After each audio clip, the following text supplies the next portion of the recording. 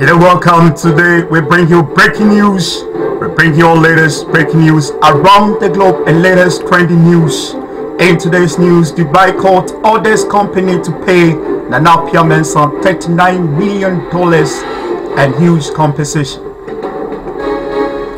The CEO of Menzgold, Nana Mensah, has secured another massive victory as the Supreme Court in Dubai has ruled that a gold trading company in the country must refund $39 million to the Ghanaian businessman as well as a mouth-watering compensation. The highest court in the Asian country rejected the appeal by Horizon Royal Diamonds on Tuesday and ordered them to pay back 39 million worth of gold he has supplied to the Dubai-based company. The court also ruled that Horizon Royal Diamonds must pay a huge amount of money in compensation to Nana Mensah for the damage their actions have caused his reputation and businesses.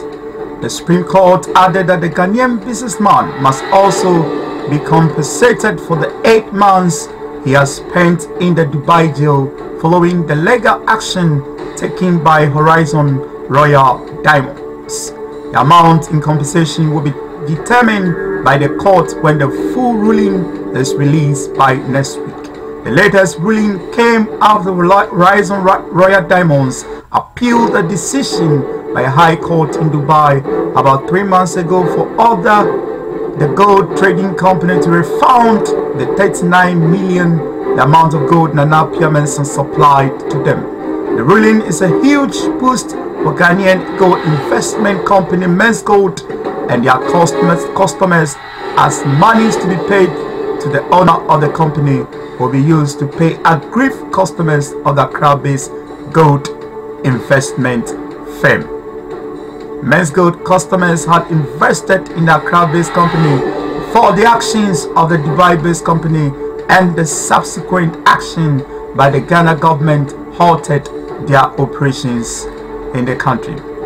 Let's wait to see the next week ruling whether Menzgold will able to settle its aggrieved customers in Ghana. Stay tuned for more breaking news and more trending news around the globe and beyond. Have a wonderful day.